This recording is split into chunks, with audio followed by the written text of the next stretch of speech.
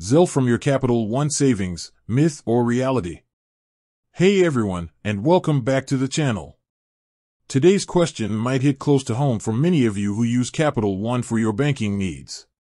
We've all been there, needing to send some quick cash to a friend, split a restaurant bill, or pay back a roommate. But what if your funds are tucked away in a Capital One savings account? Can you still utilize the ever popular Zelle service for these peer to peer transactions? The rise of Zelle. Let's rewind a bit. Zelle has exploded in popularity in recent years. It's a fantastic way to send and receive money directly between bank accounts, often touted for its speed and convenience. Gone are the days of waiting for checks to clear or dealing with the hassle of money orders. With Zelle, all you need is a recipient's email address or phone number linked to their bank account, and voila. Funds are transferred electronically in a flash. Capital One and Zelle, the perfect match? This ease of use is why many people naturally assume Zelle is integrated into all their banking options, including savings accounts. But hold on a sec.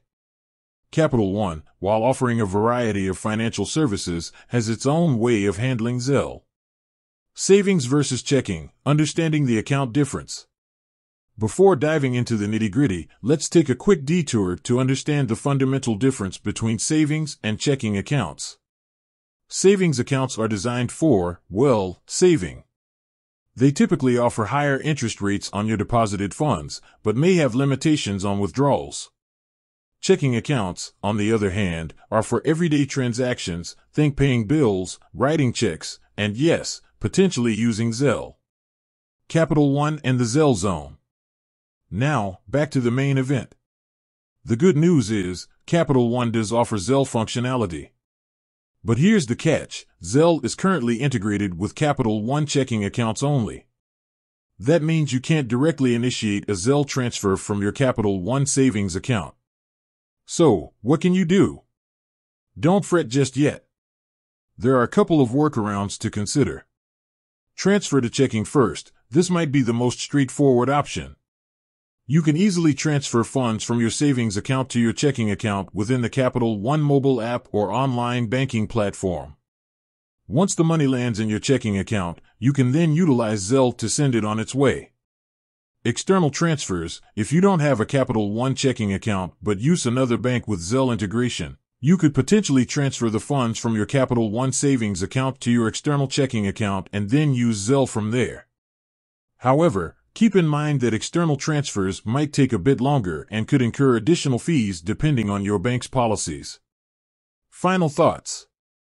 While you can't directly send money through Zelle from your Capital One savings account, the workarounds we discussed offer some flexibility. Remember, it's always a good idea to check Capital One's website or mobile app for the latest information on Zelle functionality and any potential updates. Python for K-means clustering. Now, that was the financial side of things. But for those of you who are data enthusiasts, here's a quick bonus tip. If you're interested in performing k-means clustering analysis on a dataset, Python offers some fantastic libraries to make the process a breeze.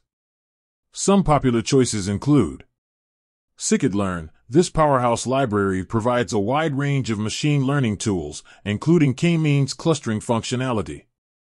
Pandas, often used for data manipulation and analysis, Pandas can help you prepare your dataset for clustering.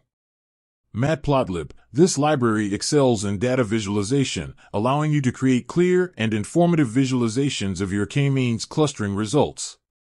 With that said, thanks for watching and until next time, happy banking and happy exploring with Python.